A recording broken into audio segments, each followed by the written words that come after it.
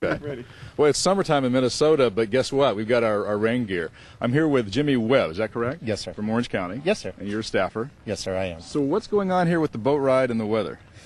Um, you know, actually, I'm surprised people are out there. The weather's not stopping them from going on the boat ride. Uh, it's our, our California delegates. They're out here just having a good time. What have they said as they've gotten off the boat?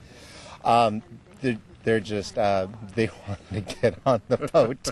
they really did. I, I thought the rain would stop them, but it didn't. They're, they're excited to be out here. No seasickness? No, none at all. In fact, there's some that said they're, they were in the service, so they're good to go. All right, Jimmy, thanks very much. Thank you, sir. We are at the Lafayette Club on Lake Minnetonka outside of St. Paul.